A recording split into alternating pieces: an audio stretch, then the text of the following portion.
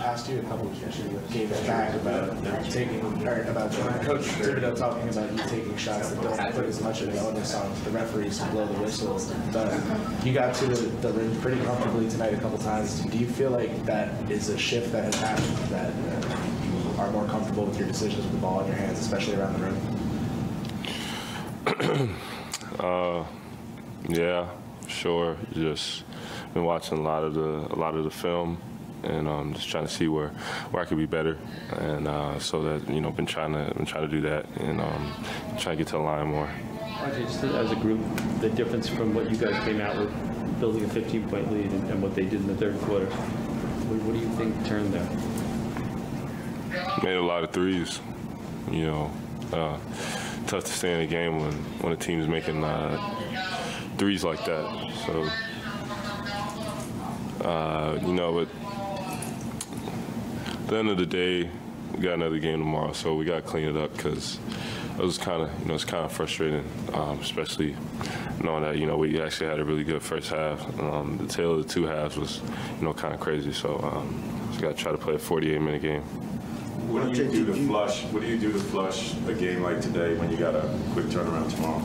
I mean, just, as soon as we leave here, you just gotta you gotta let it go. You know, um, gotta let it go and uh, just come ready tomorrow. Because you know, I mean, no one feels bad for you, so you gotta just try to come tomorrow and get a win. Gentlemen saying they wanted it more than you guys. Is it, you know, there's been mention of intensity or effort. Is that disturbing to you that it three, four times it's happened? We were talking about that after. I mean, you know, to, like today especially, it was just just really frustrating. Um, I think we started off very well. We were playing a really good game, and then it just it flipped all of a sudden. So um, yeah, it's definitely frustrating. In general, not just not just today. You guys in the third quarters this year, it's been your worst worst quarter. If you just look at like score differential per quarter, but it's been like really stark. Why, why do you think that is? Why is that continued?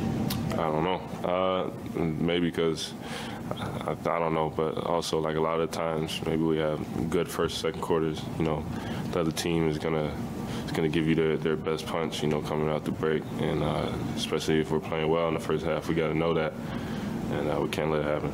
Is, is it possible that the other the opposite can be true too? Like, do you feel at all like there's a sort of like okay, you're like a comfort level, like okay, you're up seven, you're comfortable, and you don't come out. I don't say a comfort level. I'll, I'll just say like the other team is, is good too. You know, so they don't they don't want to lose either.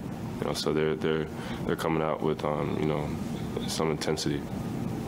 All right, what was most upsetting about the second half? Besides the obvious, obviously they hit a ton of threes. I mean, that, the obvious was that was what was upsetting.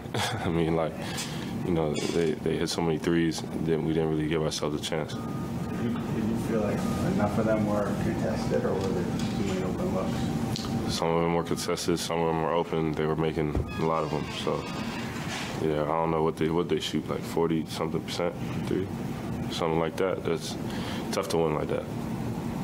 All right. Thanks very much. All right, guys. See you tomorrow.